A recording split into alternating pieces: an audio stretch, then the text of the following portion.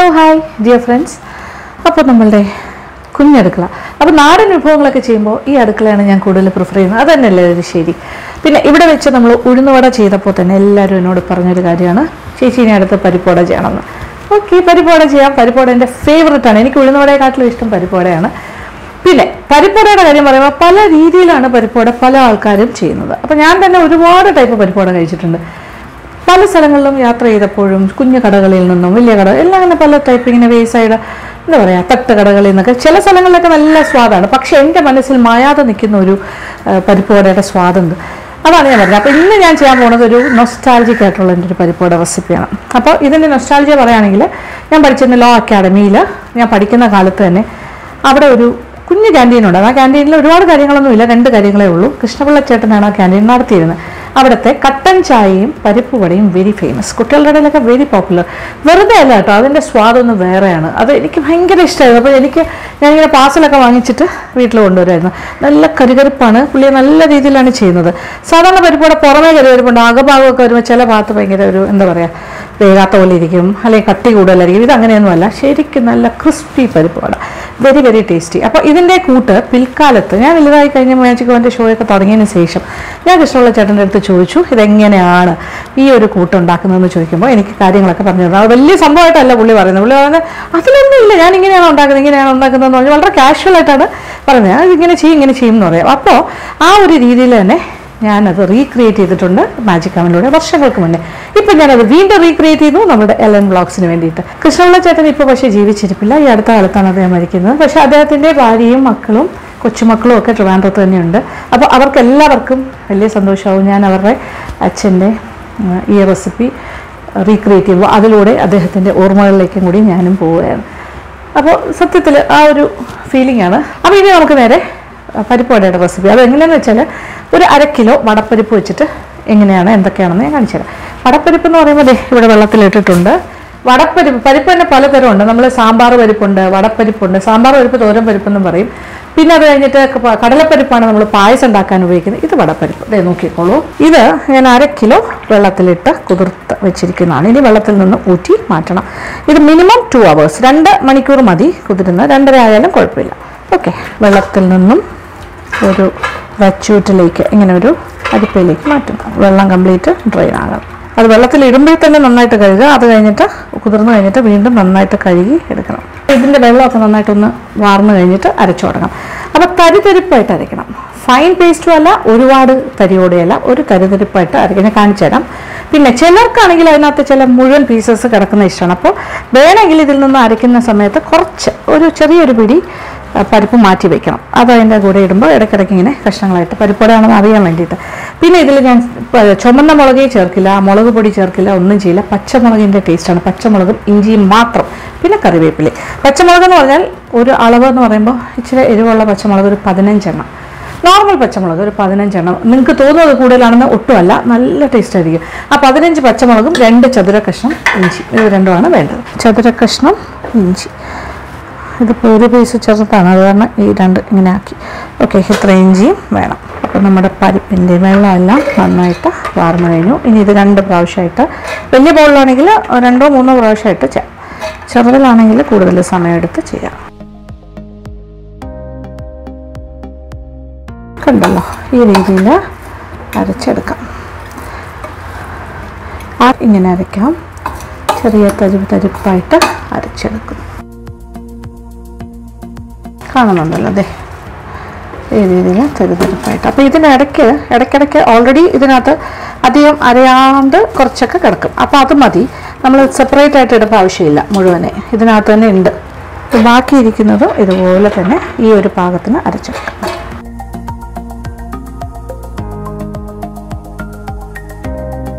അപ്പോൾ പാകം മനസ്സിലായല്ലോ അതെ ഇതാണ് പാകം. നോക്കിക്കോളൂ. ഇതിനകത്ത് ഇടയ്ക്കിടയ്ക്ക് ഇങ്ങനെ ഓരോ പീസൊക്കെ പകുതി പീസൊക്കെ ഉണ്ടാവും.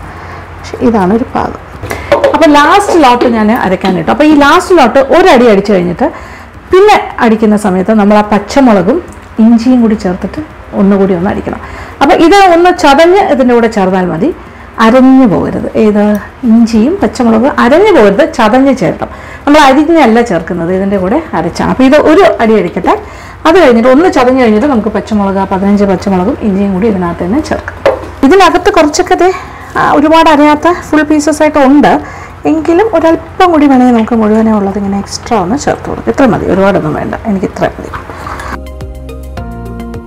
ഒന്ന് ഒന്ന് ചതഞ്ഞു. ഈ സമയത്ത് ഞാൻ പച്ചമുളക് ഒരു പതിനഞ്ച് പച്ചമുളക് ഇങ്ങനെ മുറിച്ച് മുറിച്ചിടാം. അതിനെയും കൂടെ ഒന്ന് ചതച്ചെടുക്കാം.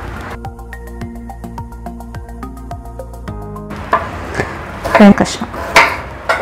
വലിയ ചെറിയ കഷ്ണം തന്നെയാണ് പീസസ് ആക്കിയിട്ട് വീണ്ടും ഒന്ന് അരയ്ക്കാം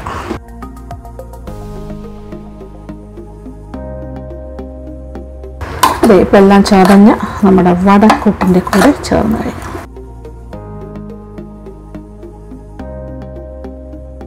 അപ്പോൾ എല്ലാം കൂടി ചേർത്തത് അരച്ച് കഴിഞ്ഞു. ഇനി എന്താണ്? ഇനി നമ്മൾ ആവശ്യത്തിനുള്ള ഉപ്പ് ചേർക്കണം. വടയ്ക്ക് ആവശ്യമുള്ള ഉപ്പ് പിന്നെ കറിവേപ്പില. നിറച്ച് കറിവേപ്പിലയും ചേർത്തിട്ട് നന്നായിട്ട് കൈയൊക്കെ നന്നായിട്ട് കഴുകിയിട്ട് മിക്സ് ചെയ്യും. ഈ കറിവേപ്പില വേണമെങ്കിലും മുറിച്ച് വേണമെങ്കിലും ഇടാം. അതല്ലാന്നുണ്ടെങ്കിൽ മുഴുവനും ഇടാം. അപ്പോൾ ഈ പച്ചമുളകും ഇഞ്ചിയും ഒക്കെ എല്ലാ ഭാഗത്തേക്കും ഒരുപോലെ കിട്ടണം. ഉപ്പ് എല്ലാ കാര്യങ്ങളും നന്നായിട്ടൊന്ന് കുഴയ്ക്കുക. അപ്പം നന്നായിട്ട് ദേ യോജിപ്പിച്ചെടുത്ത് കഴിഞ്ഞു കണ്ടല്ലോ. അപ്പോൾ ഉഴുന്നോടെ നമ്മൾ അരച്ചിട്ട് നമ്മളൊരു ഇരുപത് ഇരുപത്തഞ്ച് മുതൽ അരമണിക്കൂർ വെക്കണം എന്നുള്ളൂ ഇത് അതൊന്നും വേണ്ട. ഇൻസ്റ്റന്റ് ആണ് ഉടനെ ഉണ്ടാക്കാം. ഇനി അടുപ്പിൽ എണ്ണ ചൂടാക്കിയാൽ മതി. ഇത് വെളിച്ചെണ്ണയിലും ആകാം സൺഫ്ലവർ ഓയിലും ആകാം. ഏതാണെങ്കിലും കുഴപ്പമില്ല. നല്ല ടേസ്റ്റാണ് നല്ല മരു എന്ന് പറയാം നല്ല കരുകരിപ്പായിട്ടാണ് വറുത്ത് പോരേണ്ടത്. പിന്നെ ഇത് അരയ്ക്കുന്ന സമയത്ത് ഒരു തുള്ളി വെള്ളം പോലും നമ്മൾ ഒഴിക്കേണ്ട ആവശ്യമില്ല. വെള്ളത്തിൽ നിന്ന് നന്നായിട്ട് ഊറ്റി വെച്ചിട്ട് വേണം പരിപ്പ് അരച്ചു തുടങ്ങാൻ. വെള്ളത്തിന്റെ ആവശ്യമേ ഇല്ല. അതിന്റെ ആ ഒരു ഈർപ്പം തന്നെ ധാരാളം മതിയാകും. നമുക്ക് എണ്ണ ഒഴിച്ചു കൊടുക്കാം. അപ്പോൾ എണ്ണ ചൂടാകട്ടെ. അപ്പോൾ ഇതെങ്ങനെയാണെന്ന് വെച്ചാൽ ആദ്യം ഒരു നാരങ്ങ വലിപ്പത്തിലുള്ള ഉരുള എടുക്കണം. ഒരു സാധാരണ ചെറുനാരങ്ങയുടെ വലിപ്പത്തിൽ അത് മതി. അതിന്റെ ആവശ്യമുള്ളൂ എന്നാണ് തോന്നുന്നത്. ഒരു ചെറിയ നാരങ്ങയുടെ വലിപ്പം. എന്നിട്ട് അത് കൈവെള്ളയിലേക്ക് ഇങ്ങനെ വയ്ക്കുക എന്നിട്ട് ഒന്ന് അമർത്തി കൊടുക്കുക നന്നായിട്ട് പ്രസ് ചെയ്യണം. എന്നിട്ട് സൈഡ്സൊക്കെ ഒന്ന് ഇങ്ങനെ ആക്കി കൊടുക്കും അപ്പോൾ ഒരു പരിപ്പ് വടയുടെ ഷേപ്പ് ഒത്തിരി കട്ടി വേണ്ട. ഒരുപാട് കട്ടിയാണെങ്കിൽ അകം മുരിയില്ല. ഇത് നല്ല ക്രിസ്പി ആവണമെന്നുണ്ടെങ്കിൽ കുറച്ച് ഇങ്ങനെ തന്നെ കുറച്ച് പരത്തി ചെയ്യണം. എന്നാൽ വടയുടെ ഷേപ്പ് പോകാനും പാടില്ല. ഓക്കെ അപ്പം ഇനി ഇത് ചൂടെണ്ണയിലേക്ക് ഇടുക. ഇതിങ്ങനെ ഇളകി വരും. ഒരു പാടുമില്ല ഇതിങ്ങനെ ആക്കിയാൽ മതി. കയ്യിൽ നിന്നും വിട്ടു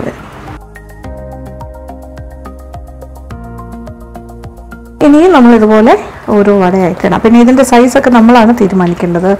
ഏത് വലിപ്പമാണ് ഇതിലും ചെറുതായിട്ട് ചെയ്യാം വേണമെങ്കിൽ ഇതിലും വലുതായിട്ട് ചെയ്യാം. ഇപ്പോൾ സാധാരണയായിട്ട് പരിപ്പോടാന്ന് പറയുമ്പോൾ സൈഡ്സ് ഇങ്ങനെ ഇങ്ങനെ തിന്നായിട്ടും നടുക്ക് ഭാഗം വെച്ചിട്ട് പൊങ്ങിയാണ് ഇരിക്കേണ്ടത്. അങ്ങനെയും ആ രീതിയിലും ആൾക്കാർ ചെയ്യും. ഇങ്ങനെ ഒന്ന് പ്രസ് ചെയ്യുന്നു. എന്നിട്ട് ഈ സൈഡ്സ് ഇങ്ങനെ വെച്ചിട്ട് ഈ നടുക്കുള്ള ഭാഗത്തിന് ഇച്ചിരി ഗുമ്മാക്കിയാണ് ഇടുന്നത്. ഈ രീതിയിലും ചെയ്യാം. പക്ഷേ എന്റെ പേഴ്സണൽ ഒപ്പീനിയൻ നമ്മുടെ ഈ സ്നോളച്ചേട്ടന്റെ വടയൊക്കെ അങ്ങനെയല്ല ചെയ്യുന്നത്. കുറച്ച് തിന്നായിട്ടാണ് ചെയ്യുന്നത്. ടോട്ടലി ഒരു തിന്നസ് കൊടുക്കും. ഇതിപ്പോൾ ഈ രീതിയിലും ചെയ്യാം. തീ നല്ല ചൂടായി കഴിഞ്ഞിട്ട് പിന്നെ അതൊന്ന് ക്രമീകരിച്ച് ഒരു മീഡിയം മീഡിയം ഹൈ ഫ്ലെയിമിലേക്ക് മാറ്റിയിട്ടാണ് ഇങ്ങനെ വടയിടേണ്ടത്. എന്നിട്ടൊരു മീഡിയം ഫ്ലെയിമിൽ നല്ല മൊരിച്ചെടുക്കുക. അപ്പോൾ ഉള്ളും വേഗണം പുറമേ നല്ല ക്രിസ്പി ആവും വേണം. അപ്പോൾ ആ രീതിയിൽ ചെയ്യാം. ഇട്ട വടയൊക്കെ മൂത്ത് തുടങ്ങി. ഇതേ നോക്കിയേ അതാ അതാ ദാ ഓട്. ഓക്കെ. ഇത് ഈ രീതിയിലുള്ള ഷേപ്പിലാണ് ഞാനിട്ട് ഇനി നന്നായിട്ട് ഒന്നുകൂടി ഒന്ന് മുരിയട്ടെ. നന്നായിട്ട് മുരിഞ്ഞാൽ മാത്രമേ അത് നല്ല ക്രിസ്പി ആയിട്ട് വരുള്ളൂ. കാണുന്നുണ്ടല്ലോ. ഇതിപ്പോൾ ലാസ്റ്റ് ഇട്ടത്. ഇപ്പോൾ ഞാൻ മൂന്നെണ്ണം ഇട്ടിട്ടുള്ളൂ. ഒരുപാട് ക്രൗഡ് ചെയ്യുന്നതും നല്ലതല്ല. പിന്നെ വേണമെങ്കിൽ കുഞ്ഞു പരിപ്പോടെ വേണമെങ്കിലും ചെയ്യാം. അപ്പോൾ ചെറിയ ഉരുള ഒരു നെല്ലിക്ക വലുപ്പത്തിന് ഉരുള എടുത്തിട്ട് വലുപ്പത്തിൽ എടുക്കുക. ഇങ്ങനെ വയ്ക്കുക.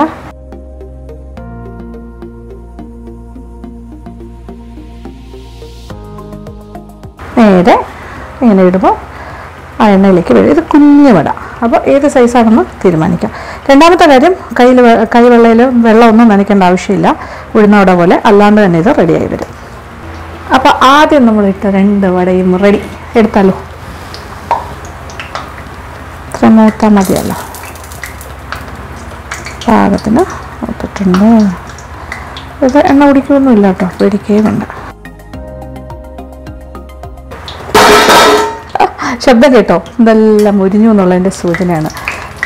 ഇനി നമ്മുടെ മൂന്നാമത്തെ വടയും കൂടി അതിനകത്തിടാം ഒരു പരിപ്പോടയുടെ ആ ഒരു ഷേപ്പിൽ ഞാൻ ചെയ്തതാണ്. അതും കുഴപ്പമില്ല. ഒരുപാട് കട്ടിയിൽ നമ്മൾ ഷേപ്പ് ചെയ്യാണ്ടിരുന്നാൽ മതി. അത്യാവശ്യം നന്നായിട്ട് മുരിഞ്ഞ് കിട്ടും.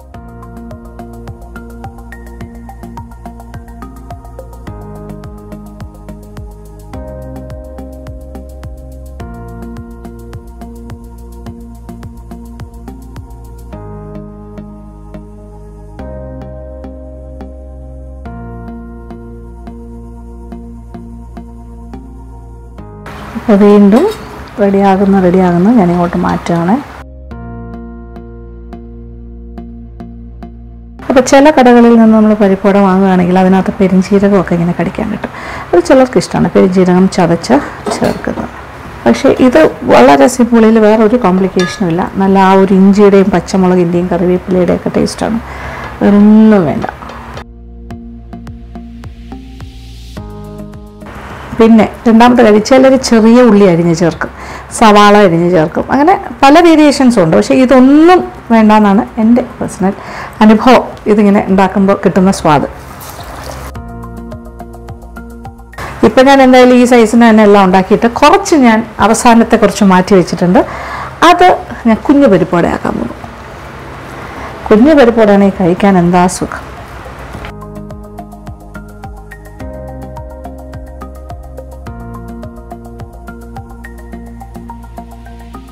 അപ്പോൾ തീയുടെ ക്രമീകരണം വളരെ പ്രധാനമാണ്.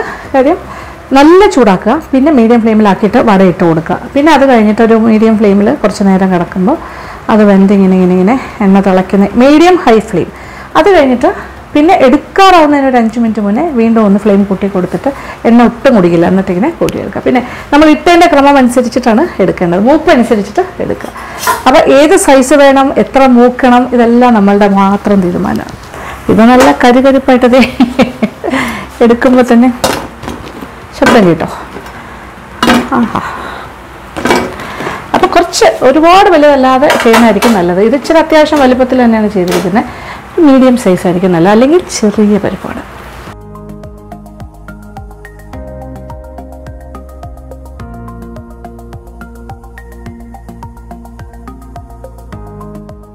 അപ്പോൾ വലിയ വട ഏതാണ്ട് ഒരു പതിമൂന്ന് പതിനാലെണ്ണം ഉണ്ടാക്കി കഴിഞ്ഞു. ഇനി ബാക്കി ഇരിക്കുന്ന മാവിൽ നിന്നും കുഞ്ഞു വടകൾ ഉണ്ടാക്കാൻ പോകും. ഓക്കെ ചെറിയ ചെറിയ വട. അത് ഞാൻ കാണിച്ചു തരാം. പിന്നെ ഈ ഒരു സൈസിൽ തന്നെയാണ് ഇത് ഫുൾ ഉണ്ടാക്കുന്നതെങ്കിൽ ഒരു ഇരുപത് വട കിട്ടും പരിപ്പ് വട. പിന്നെ ഇതിനെക്കാട്ടിലും ഒരു അല്പം കൂടി സൈസ് കുറയ്ക്കുകയാണെങ്കിൽ ഇരുപത്തഞ്ച് വട വരെ ഉണ്ടാക്കാം. ഈ അര കിലോ നമ്മുടെ വടപ്പരി. നമ്മുടെ കുഞ്ഞു വടയുടെ പണിപ്പുരയിലാണ് ഞാൻ. ഇതിലും കുഞ്ഞാക്കാൻ വേണമെങ്കിൽ നമ്മൾ ഈ സദ്യക്കൊക്കെ ഇപ്പോൾ ഒരു ട്രെൻഡുണ്ട്. നമ്മളിങ്ങനെ ഇലയിൽ സദ്യ വിളമ്പുമ്പോൾ ഒരു സൈഡിൽ ഉണ്ണിയപ്പവും കുഞ്ഞു വടയും വയ്ക്കുക അതൊക്കെ ഇത്രയും സൈസേ ഉണ്ടാവുള്ളൂ. ചെറുത്ത് കുഞ്ഞു വട. അത് ഏതാണ്ട് ആ സൈസിൽ ഞാൻ ഉണ്ടാക്കാൻ പോവാണ്. ഓക്കെ.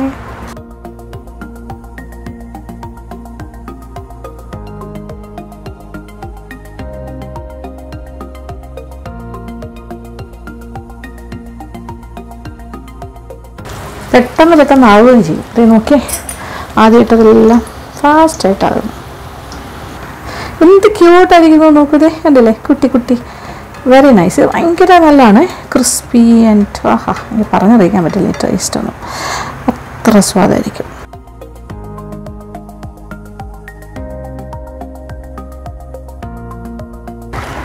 അങ്ങനെ നമ്മുടെ ലാസ്റ്റ് ലോട്ട് ഓഫ് കുട്ടിപ്പരിപ്പൂടാസ് റെഡി.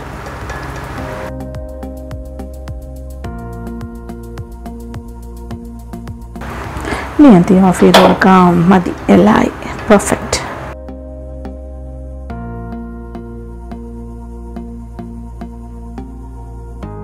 അങ്ങനെ പരിപ്പ് വട കംപ്ലീറ്റ് റെഡി നല്ല ചൂട് ചൂട് പരിപ്പ് വട.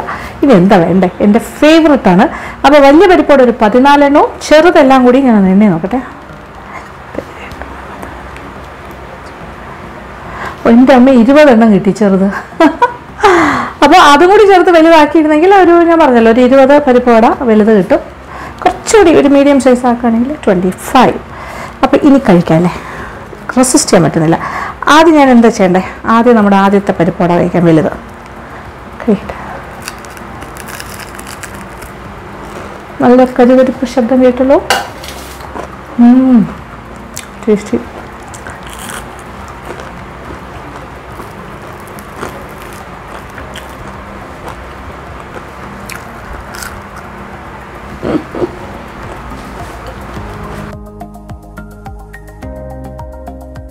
അങ്ങനെ ഒരു പരിപ്പോടെ മൊത്തം കഴിച്ച് തീർത്തു ഇനി ഒരു എക്സ്ക്യൂസ് നോക്കിയിരിക്കുകയാണ് അടുത്തത് കഴിക്കാനായിട്ട്. ഇതേ നോക്കിയേ ഇനി കുട്ടിപ്പരിപ്പോട കാണണ്ടേ?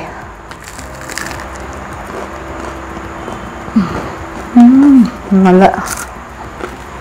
വെരി നൈസ് ഇങ്ങനെ പരിപ്പോട കഴിച്ചുകൊണ്ടപ്പോൾ ഒരാളോട് നോക്കുകയാണേ. വേറെ ആരായിരിക്കും? നമ്മുടെ സ്വന്തം അനുമോൾ. അനുമോൾക്ക് വലിയ ഇഷ്ടമാണ്.